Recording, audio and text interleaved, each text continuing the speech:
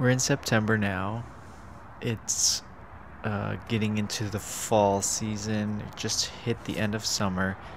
And here are my moringa trees. Uh, they're about four and a half months old, getting to be about five months. Um, probably in October, I guess, is when they'll be five months.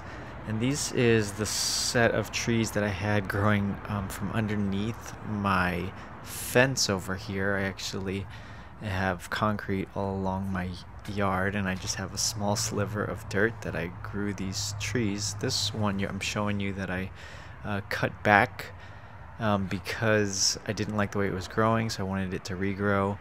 And uh, here we go, I just blinked over to um, my main trees that I was doing all my testing with.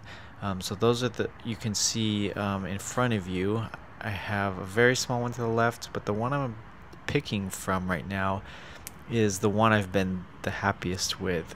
And this is the one that, um, if you see my earlier videos, that when it reached about, um, I believe it was two feet, I cut it back uh, two thirds of the way.